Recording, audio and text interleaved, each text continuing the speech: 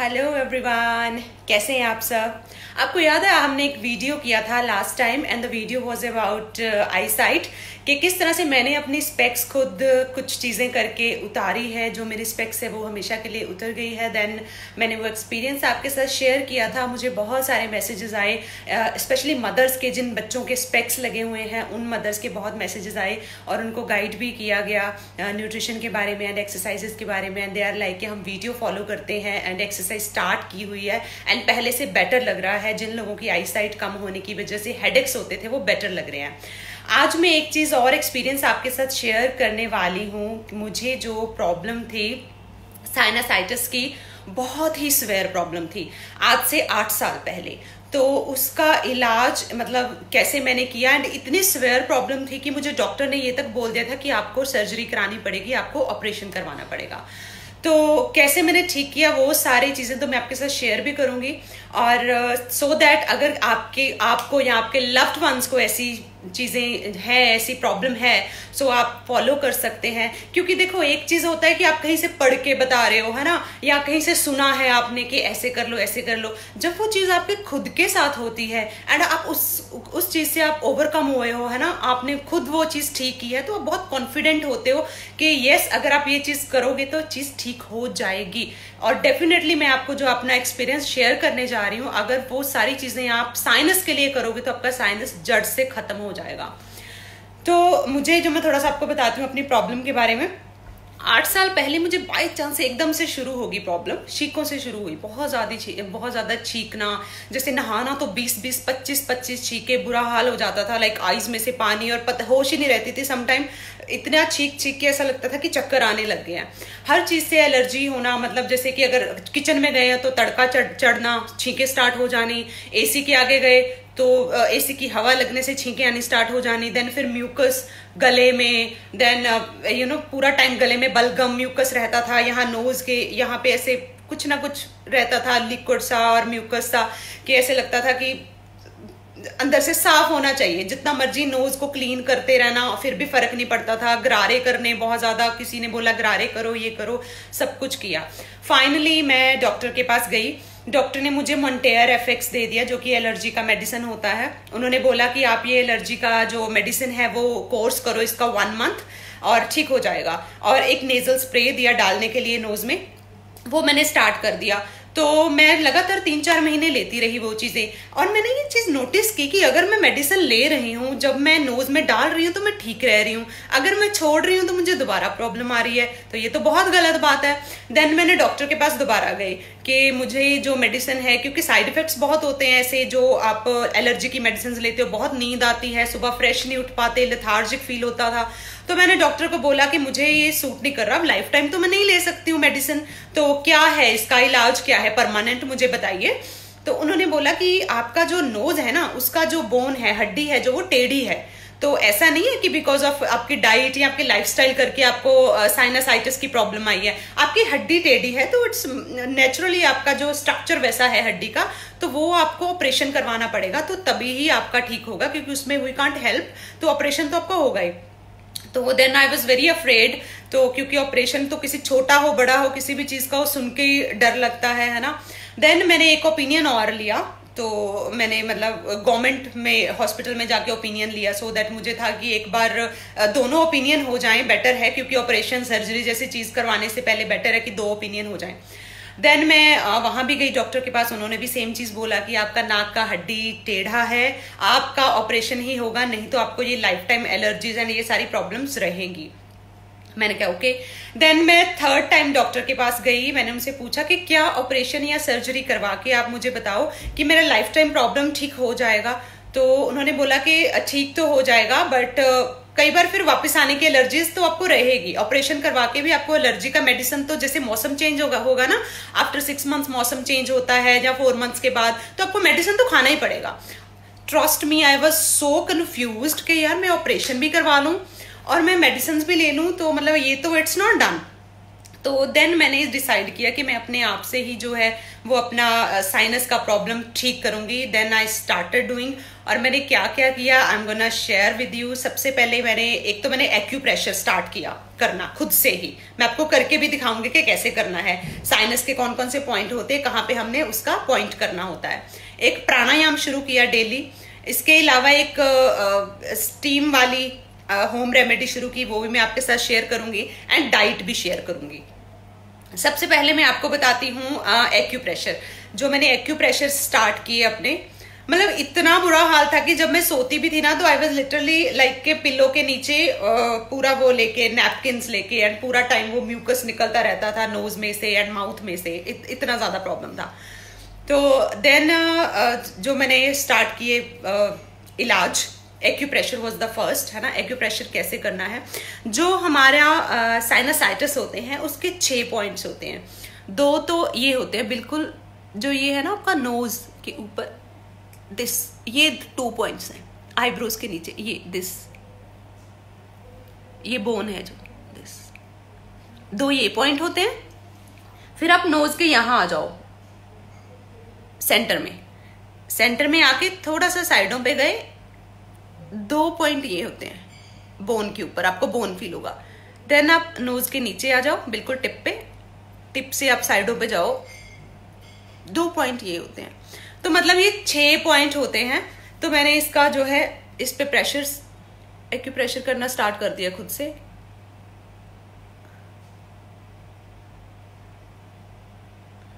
थोड़ा सा आपको प्रेशर देना होता है बस पॉइंट्स पे एंड फील करना होता है। तो फाइव मिनट्स के लिए मैं ये डेली करती थी। उसके बाद एक चीज़ मैं और करती थी।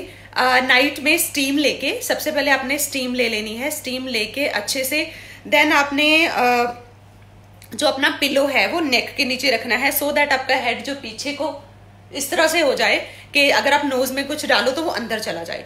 तो उसके बाद, जैसे आपने स्टीम लिया, आप लेट गए देन देसी घी, जो कि प्योर होना चाहिए, घर का होना चाहिए, या फिर almond oil almond oil Dabur या पतंजलि का नहीं. एलमंड ऑयल जो स्पेशल आप एलमंड लेके जाते हैं एंड उसका तेल निकलवाते हैं, वो वाला एलमंड ऑयल तो उसकी जो आपने ड्रॉपर में ड्रॉप्स ले लेनी है लेट के स्टीम लेने के बाद लेट के ड्रॉपर में ड्रॉप्स ले लेनी है वेदर अ देसी घी जो कि काउ का होना चाहिए एंड होममेड होना चाहिए, या फिर आपका आमंड ऑयल जो कि खुद से निकलवाया हुआ होना चाहिए प्योर आमंड्स का। तो उसको फिर आपने ड्रॉपर से एक एक जो है अपना नॉस्ट्रल में डाला, ऊपर को सांस लिया, चढ़ाया पूरा एंड देन दूसरा। उससे क्या होता है कि जो आपकी साइनस कैविटीज होती है ना, उसको मॉइस्चराइज करना बहुत ज़रूरी होता है। एंड दूसरी चीज़, जब आप कैविटी पहले हम स्टीम लेते हैं तो आप, हमारी जो साइनस कैविटीज हैं वो क्लीन हो जाती हैं। क्लीन होने के बाद उसको, वो मॉइस्चराइज हो जाती हैं जब आप ऑयल या इस तरह से चीज़ें डालते हो। तो वो आपके म्यूकस कम बन, बनता है, उससे आपको वो, उस चीज़ में भी हेल्प करती है। प्लस अगर म्यूकस ज़्यादा टाइम अंदर रहे, अगर हम बाहर नहीं निकाल रहे हैं तो उसके अंदर बैक्टीरियल इन्फेक्शन हो जाते हैं। तो ये मैं डेली करती थी। मतलब फॉर फ्यू मंथ्स तो मैंने ये डेली किया, उसके बाद जब मुझे आराम आना स्टार्ट हुआ तो मैंने इसको लाइक like, वीक में दो, तीन बार कर दिया देन मैंने वीक में दो बार कर दिया देन मैंने वंस अ वीक कर दिया। एंड अब आपके सामने हूँ मैं मैंने कोई भी सर्जरी ऑपरेशन नहीं करवाया है एंड कोई भी मुझे सीजनल एलर्जी नहीं होती है कोई मुझे साइनस नहीं है अब एंड मेरे नोज़ की जो बोन है वो सेम है टेढ़ी की टेढ़ी ही है उसका कुछ नहीं करवाया कोई ऑपरेशन नहीं कुछ नहीं। एंड मैं एसी में भी बैठी हूँ मुझे अब कभी कोई एलर्जी नहीं होती है। ये चीज़ करनी है आपने देन आपको मैं थोड़ा सा डाइट के बारे में बताती हूँ। डाइट में मैंने क्या क्या चीज़ें ऐड की थी अपने नॉर्मल फ़ूड के साथ। नॉर्मल फ़ूड के साथ पहले मैंने एक तो ऐड किया जिंजर टी आपने क्या करना है कि एक, जो है आपने स्लाइस छोटा सा स्लाइस जिंजर का ले लेना है। उसको आपने एक कप पानी में बॉईल करना है। बॉईल करके आपने छान लेना है। छान के उसमें एक पिंच काला जो काली मिर्च होती है ब्लैक पेपर वो डालना है, उसका पाउडर उसको आपने लेना है, उसको आप ब्रेकफास्ट के बाद लेंगे। जो भी आप ब्रेकफास्ट कर रहे हो, आप ब्रेड ब्रेड सैंडविच ले रहे हो, पोहा ले रहे हो, जो भी ब्रेकफास्ट कर रहे हो, उसके बाद ब्रेकफास्ट के बाद आप जिंजर टी लोगे। क्योंकि ये इम्यूनिटी आपकी बूस्ट करती है, आपको सीजनल एलर्जीज या इस तरह से जो एक्सेस में म्यूकस जो आपका बनता है आपकी साइनस कैविटीज में, उससे हमें प्रिवेंट करती है। दूसरी चीज़ जो मैंने अपने ऐड की डाइट में डेली वो थी गार्लिक क्योंकि गार्लिक में तो वैसे ही एंटी इन्फ्लामेटरी और एंटी बैक्टीरियल प्रॉपर्टीज़ होती हैं। और जितना हमारे अंदर म्यूकस रहता है, चाहे वो गले में रहता है उस टाइम में, या फिर हमारे जो है सैनोटिकल्स में रहता है तो उससे क्या होता है कि वो अंदर बैक्टीरियल इन्फेक्शन होने के चांस होते हैं, जिसकी वजह से हमारी जो प्रॉब्लम है वो और ज़्यादा बढ़ जाती है, या फिर अंदर जम जाता है। तो गार्लिक से क्या होता है कि एक तो वो जमने नहीं देता टाइम टू टाइम आपका म्यूकस पास होता रहता है जो आपके नोज़ के थ्रू गार्लिक को मैंने कैसे लिया? गार्लिक को जैसे आपने एक क्लब या दो क्लब ले लेने हैं आपने, शुरू आप एक क्लब से ही करेंगे। तो उसको अच्छे से कूट लेना है हमने। तो अच्छे से जब आप उसको मैश कर लेते हो तो उसका वो एक पेस्ट सा बन जाता है। तो उस पेस्ट को आपने कंज्यूम करना है हॉट वाटर के साथ, लाइक ल्यूक वॉर्म वाटर के साथ। इसको आप ले सकते हैं, जैसे कि अपने लंच के बाद ले सकते हो, आप मील के बाद भी ले सकते हो। तो अदरवाइज़ अगर किसी को गार्लिक का टेस्ट मैंने तो खुद गार्लिक ही लिया था कंज्यूम किया था। अगर किसी को गार्लिक का टेस्ट पसंद नहीं है तो वो गार्लिक के आजकल मार्केट में कैप्सूल्स भी अवेलेबल है तो वो भी ले सकते हैं। तीसरी चीज़, जैसे शाम के स्नैक्स में मैंने ऐड किए थे सूप्स या तो स्पिनिच या कोई वेजिटेबल सूप या फिर जैसे कि आप चिकन सूप भी ले सकते हो। चिकन सूप भी हेल्प करता है आपकी इम्यूनिटी को बूस्ट करने के लिए। मैं जो वो स्पिनिच सूप या फिर और कोई भी वेजिटेबल ग्रीन वेजिटेबल सूप जो भी अवेलेबल है वो ले सकते हो आप। एंड एक चीज़ का अपने ख्याल रखना है, जो आप डेली अपना डाइट में रोटी खा रहे हो या चावल खा रहे हो थोड़ा सा ध्यान हमने ये रखना है कि डेली डाइट में आपका फाइबर अच्छा होना ज़रूरी है। क्योंकि जैसे वाइट राइस कई बार, या फिर बहुत ज़्यादा सॉफ्ट या मैदे की या मीठी चीज़ों में स्टार्च होता है ग्रीसी होते हैं। तो जब आप स्टार्च या कोई ग्रीसी चीज़ आपके म्यूकस को बढ़ाता है, जितना मीठा खाओगे ना, उतना ही म्यूकस आपका बढ़ेगा, और ज़्यादा म्यूकस बनेगा। आपको लगेगा कि पूरा जो साइनस में गला ही बंद हो गया या नोज़ पूरा बंद हो गया क्योंकि म्यूकस इतना एक्सेस में बनता है ड्यू टू मीठा, मैदा या फिर ये जो अनहेल्दी स्टफ़ होता है उससे। तो आपने नॉर्मली भी फाइबर थोड़ा सा ऐड करना है। फाइबर जैसे कि आप थोड़ा सा रोटी में भी फाइबर ऐड करें अपना एंड आप ब्राउन राइस यूज़ कर सकते हैं, दलिया या फिर ओट्स यूज़ कर सकते हैं। अपने नॉर्मल डाइट में थोड़ा सा फाइबर यूज़ करना है। एंड एक फ्रूट जूस का ध्यान रखना है। कई बार हम फ्रूट जूस लेते हैं फ्रूट जूस लेने से भी कई बार एलर्जी वो बढ़ जाती है, क्योंकि वैसे तो जो वाइटमिन सी होता है वो हमें सीजनल एलर्जी से बचाता है, हमारा जो इम्यूनिटी है उसको बढ़ाता है बट कई बार वो खट्टा लगने से आपके साइनस की या गले की प्रॉब्लम को बढ़ा देता है, कुछ केसेस में ऐसे होता है। तो अगर आप फ्रूट जूस ले रहे हैं साइनस है आपको तो आप स्विच कर लो वेजिटेबल जूस पे। आप बोलोगे वेजिटेबल जूस बहुत बताती है ये। स्किन का वीडियो होता है तो वेजिटेबल जूस अब साइनस का वीडियो है तो वेजिटेबल जूस आइस का वीडियो है तो वेजिटेबल जूस मैं क्या करूँ? वेजिटेबल्स में इतने ज़्यादा गुण है and vegetable juice is just so awesome तो मुझे बोलना पड़ता है बार बार कि वेजिटेबल जूस आप ऐड करो। तो वेजिटेबल जूस के लिए जैसे मैं हमेशा बोलती हूँ कि आपको कहीं फ्रिज खोलिए, कोई भी तीन वेजिटेबल सामने पड़ी है, निकालिए और उसको जो है ब्लेंड करिए वाटर डाल के देन उसका छन्नी से छान के आप ले लो, उसके अंदर आप काला नमक, काली मिर्च भी डाल सकते हो। तो वेजिटेबल जूस पे आप स्विच कर लीजिए, अगर आप फ्रूट जूस के फॉन्ड हो, अगर आपको साइनस है, अगर उससे आपको थ्रोट में इश्यूज़ होते हैं। तो ये कुछ नॉर्मल से चेंजेस मैंने किए थे डाइट में। एंड uh, चौथी चीज़ मैंने शुरू की थी अपनी एक्सरसाइज तो करनी करनी है जो कि योगा वेट ट्रेनिंग यो भी आप करते हो बट साथ साथ मैंने प्राणायाम जैसे अर्ली मॉर्निंग उठ के फ्रेश एयर में प्राणायाम शुरू किया था। तो, तो वो भी मैं थोड़ा सा आपको प्राणायाम भी शेयर कर देती हूँ कि मैं किस तरह से करती थी। फाइव मिनट से स्टार्ट करके देन धीरे धीरे आप पंद्रह मिनट तक आ सकते हो। तो आपका जो साइनस का प्रॉब्लम है वो जड़ से खत्म। देखा गया है कि बच्चों में भी ये काफ़ी ज़्यादा आजकल प्रॉब्लम बढ़ रही है। लोगों की मेडिसिन चल रही हैं कई लोगों की होम्योपैथिक वाली वो जो मीठी गोलियाँ होती है वो वाली दवाई चल रही होती है। क्योंकि आयुर्वेदिक चल रही होती है। हमें लगता है कि एलोपैथिक नहीं लेनी, चलो, होम्योपैथिक की तरफ़ चलो या आयुर्वेदिक की तरफ़ चलो, बल्कि जो चीज़ें हमारे घर की फ़ूड से ठीक हो जाती है तो आयुर्वेदिक और होम्योपैथिक की भी क्या ज़रूरत है? तो यो, जो प्राणायाम मैंने किया, वो मैं आपको शेयर कर देती हूँ। आपने चौकड़ी मार के बैठना है नॉर्मल मॉर्निंग में अर्ली मॉर्निंग बैठना है आपने एंड फ्रेश एयर में बैठना है। तो फ़र्स्ट तो आपने जनरल जो अपना सांस है, उसको लेके रोकना है, जितना टाइम चेस्ट में रोकना है, जितना टाइम आप जितने सेकंड्स रोक सकते हो। जैसे कि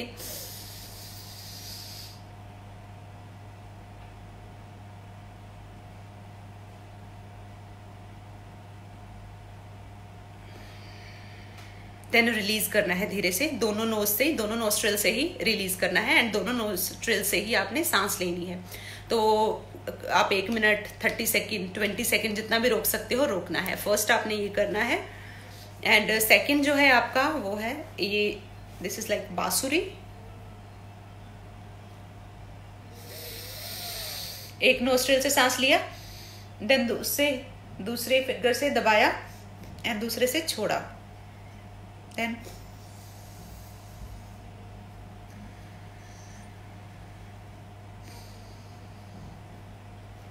ये करना है आपने थोड़ा धीरे धीरे करेंगे। एंड देन uh, जो आपने थर्ड करना है वो नॉर्मल स्ट्रोक्स uh,